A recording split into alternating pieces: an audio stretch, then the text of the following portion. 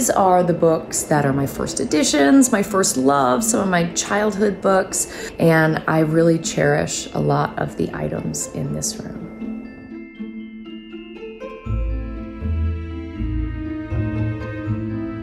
Do you know something that I hate? Like, I really hate this. When book snobs make fun of people for color coordinating their shelves. And I'm here to tell you, as your friendly local witch, that color is one of the most important things in your life, and honoring color in your life is something that you should be doing. And for people like me who have a photographic memory, I might not be able to remember the name of an author or the exact name of a book, but I promise you, I remember what color the cover is. So I know how to come back and find things many, many years after I've read them. So I think it's very, very important to give credit where credit is due. And there is a mystical woman out there who wrote a book that really changed the course of my life. Um, this book, Italian Folk Magic. Mary Grace Fahrun is a nurse, a family woman. She lives in Canada. She is a member of her community. I don't know that you would know that she's a witch. and that's what I loved. It is all about her family's Italian heritage, about the magical thinking that she inherited from all the women in her family, about the matriarchs, about the rituals and traditions and the way of looking at things, whether it's religious or superstitious or magical or really like sincere and holy to you. I think that there is a generational and cultural gift here that I really felt like I was lacking. And so I read this book and I was so happy for her that she had people in her life to walk her through her birthright. But then I wanted to find my own. And I did that by writing Grimoire Girl. Because if you don't have it, but you want to pass it on to your kids, sometimes you just got to make it up. And that's what I did. so thank you, Mary Grace. I I don't know what I would have done without this book. It was a game changer. This next book, oof. Oh, I just cry looking at it. I really do. It means so much to me. Ray Bradbury wrote this book, Dandelion Wine, about his hometown. And it was a tribute to community and the elders in the community and the children of the community and the folklore of the community and about finding magic in just those stupid, silly little everyday things. And as my hometown was being taken over by big business and very quickly disappearing, to read this total stranger's account of their home that was written with so much love, it changed what I thought writing was for. And I strive to live up to that expectation. But this book makes me cry so much because my husband knew how much I loved this book. He's seen me read it dozens of times. And so for Christmas, he got me this first edition that is signed by Ray Bradbury. July 15th, 1958. For Sid, with admiration for a fellow teller of tales. All right, now speaking of novelists that I love, this writer and I actually share a very deep affinity for Ray Bradbury, for public libraries. Um, we've talked about this at length, but Alice Hoffman, the author of Practical Magic and uh, oh god the red garden is so good. She knows how to tell a story about unlikable people so that by the end of it you're rooting for them. And as someone who feels unlikable sometimes i like that there is someone in this world like alice hoffman who can find redemption. She sent me just the single most gorgeous book this is a special edition leather bound copy of Magic Lessons, which is a part of the storytelling of the Owen sisters. So if you like practical magic, uh, Magic Lessons goes all the way back to the root of the Owen sisters story, and it is just lush and fabulous. And Alice is someone who I want to celebrate every opportunity I get.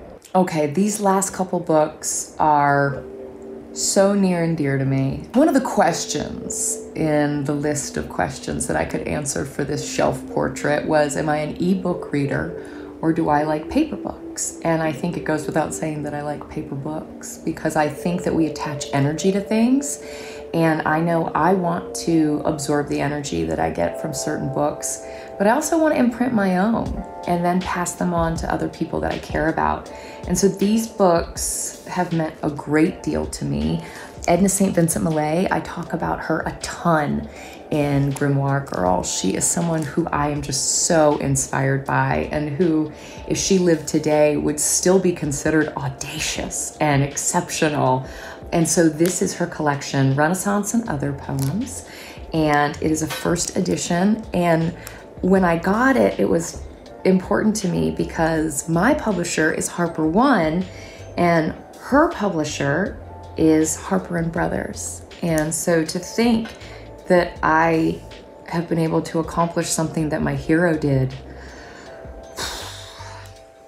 pretty cool. This other book is from Truman Capote. It is The Grass Harp. It is a story about a young boy who runs away with one of his aunts and her best friend, and they live in a treehouse. And they come up against some oppression from the town and from standards and normal behavior, and they push back against that. And I love Truman Capote for finding the radical color in a small community. Um, it's my favorite kind of storytelling. And this book is signed by him. Look at his little teeny tiny handwriting. Oh, God, I just love him whoever Rita, Rita Allen is who this book is to. Um, God bless Rita. And then this last book is a first edition copy of The Grapes of Wrath and was a wedding gift from our dearly, dearly loved Willie Garson. It was something that I wrote about in my book because it meant so much to me. And I have words from the note he wrote along with this book tattooed on my arm. My favorite childhood book is this series, Katie John. I didn't grow up in a family that had a lot of money, and so we just hung out at the public library, and there was this set of books about a tomboy named Katie John who left the big city and moved to a historic home kind of out in the middle of nowhere and encountered ghosts and a lot of mischief. And if all of that is sounding very familiar to you, I feel like I've modeled my life after this book series. Um, it really made a mark on me, and our Sterling Park Public Library knew exactly what direction to point me in. I'm gonna divulge a secret right now, and I swear to you, if any of you steal this intellectual property or come for my story, I'm gonna fist fight you. But I read this book, The Secret Life of the Lonely Doll. It is the life story of Dare Wright I read it when it first came out. I have been obsessed with it. Um, Dare Wright was a children's book author who split her time between New York City and the Outer Banks, which I'm very in love with. And she wrote really interesting stories for kids. Some of them have been controversial, but she was such a weird little fairy of a human. And telling her story is something I've always wanted to do. And so when I start directing, this is something that I very much want to put on screen. It is absolutely Good Neighbors by Sarah Langan. I think she is just such an amazing, sinister writer.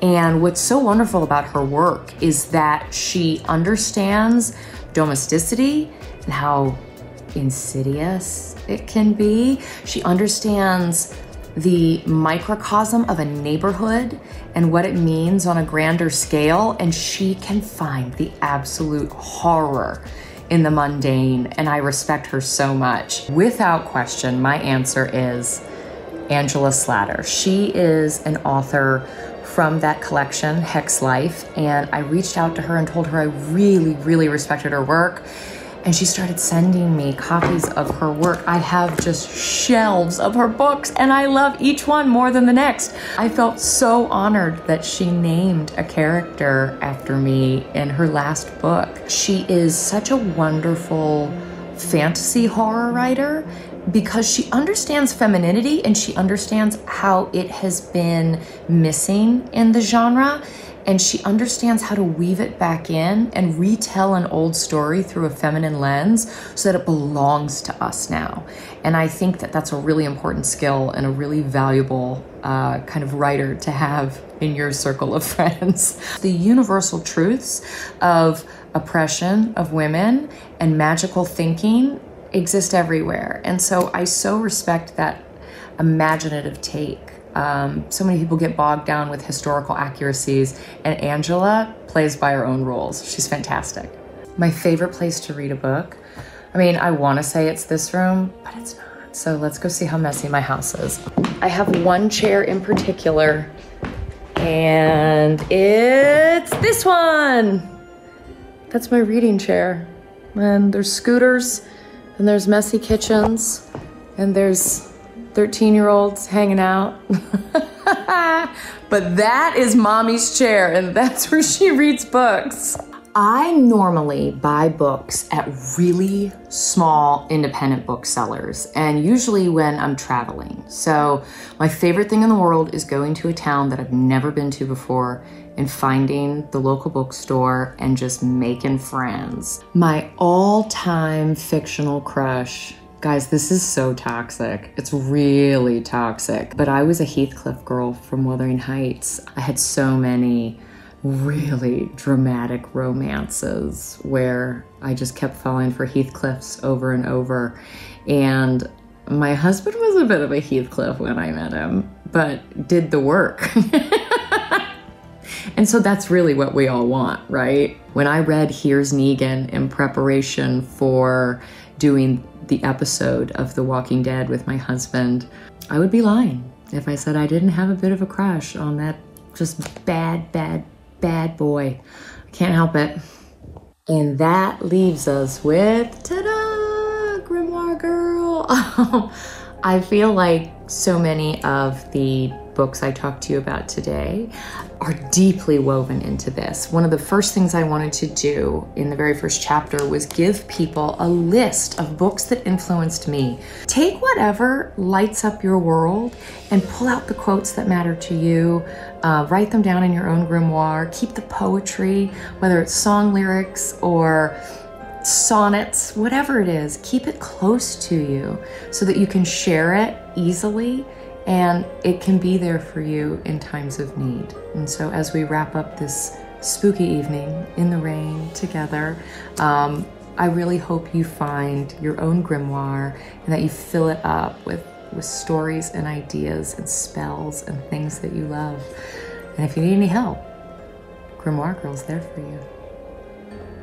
Thank you for watching Shelf Portrait and for checking out my book, Grimoire Girl. So thanks for hanging out with me. And while you guys are at it, you should subscribe to Marie Claire.